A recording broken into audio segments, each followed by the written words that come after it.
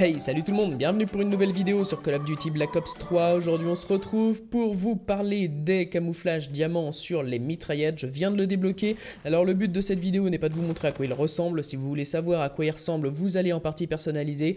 Tous les camouflages sont disponibles par défaut sur toutes les armes en partie perso. Donc, comme ça, vous pouvez, vous pouvez aller voir à quoi il ressemble. Vous avez même les camouflages solaires et le tout dernier, je sais plus comment il s'appelle. Mais bon, bref, aujourd'hui, dans cette vidéo, je vais vous parler euh, un peu de toutes les mitraillettes. Je vais donner un petit peu mon avis sur toutes les mitraillettes. Qu'est-ce qui été le plus dur, euh, lesquelles mitraillettes m'ont le plus, m'ont plu le plus. Euh, donc je vais vous dire tout ça dans cette vidéo. Donc on va commencer par la Erad.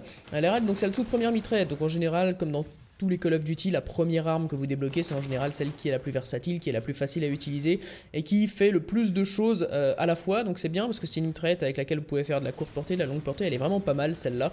Euh, de toute façon, le gros problème qu'il y a avec euh, le passage des mitraillettes en diamant, c'est qu'il y a un défi où il faut, faut faire 50 euh, kills lorsque vous êtes en plein slide. Lorsque vous êtes dans la glissade, il vous faut vous faire 50 kills. C'est long et c'est clairement le plus long des défis qu'il y a à faire parce que les autres, c'est des kills normaux. Euh, des kills jugés, il y a un petit peu de tout, des doubles kills, des séries d'élimination de 3, enfin voilà, il y, a, quelques petites choses comme ça, c'est pas très compliqué, par contre les skills en slidant, en glissant, ceux-là sont un petit peu plus longs à faire que les autres, parce qu'il y en a en plus euh, 50 à faire, les autres ça doit être 4 ou 5 ou un truc comme ça, mais là il y en a 50. Donc voilà, Clairad, euh, première mitraillette, elle est très bonne. Hein. C'est vraiment une mitraillette euh, qui fait un peu de tout, n'importe quoi, qui est très facile à prendre en main. Ensuite, nous avons la FHR 40. Alors la FHR 40, celle-là, ça fait c'est un petit peu l'équivalent euh, du Scorpion de, Black Ops 2. Pas tout à fait parce qu'elle euh, tire quand même un tout petit peu moins vite, elle fait un tout petit peu plus de dégâts, mais voilà, c'est un petit peu l'idée. Euh, c'est un peu le Scorpion de, Black Ops 2 et il est vraiment pas mal du tout cette arme. Alors faut vraiment pas essayer de tirer de trop trop loin, mais elle a quand même l'avantage d'avoir un recul qui est assez faible. Donc vous pouvez quand même faire des tirs à moyenne distance assez facilement. Bon, il vous faudra 6 ou 7 balles pour tuer l'ennemi, mais vous pouvez quand même le faire, c'est pas impossible. Si l'ennemi n'a pas un fusil d'assaut en face, en général, vous pouvez vous en sortir.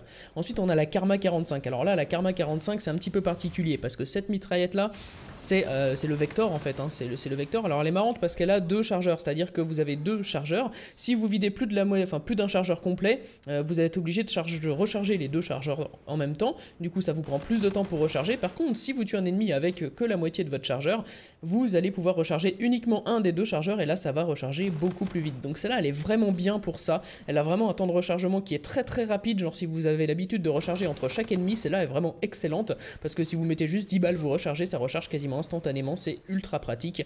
Le seul problème, c'est qu'elle a une cadence de tir qui est un petit peu faible et elle a un recul qui est un petit peu élevé.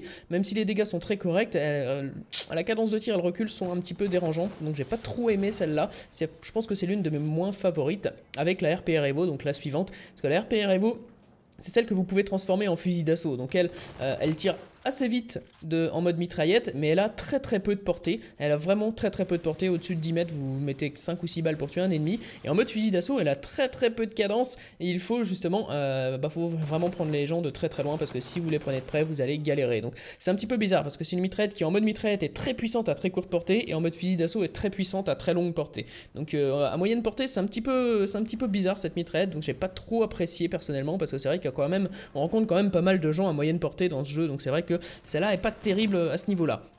Et en dernier, on a ma préférée qui est la HVR. Alors celle-là, elle fait vraiment très très mal. C'est un petit peu la MSMC, ou, disons la Kuda, on va dire, parce qu'elle peut tuer en 3 balles, donc c'est vraiment une très très bonne chose. Et en plus, elle est assez précise, elle a un recul qui est assez horizontal, mais au final, il s'annule très facilement, on va dire. Hein. Disons qu'il fait, plutôt gauche-droite, gauche-droite, gauche-droite, il va pas vraiment que d'un côté, donc c'est assez simple. Vous pouvez faire des tirs à moyenne distance assez facilement avec cette mitraillette, et j'aime beaucoup.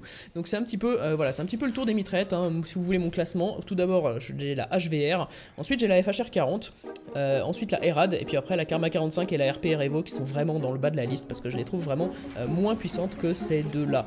Donc voilà, sur ce, j'espère que cette vidéo vous aura plu. Proposer une petite Diatomizer bombe, euh, Diatomizer Strike sur cette map euh, qui, je ne me souviens plus comment elle s'appelle d'ailleurs.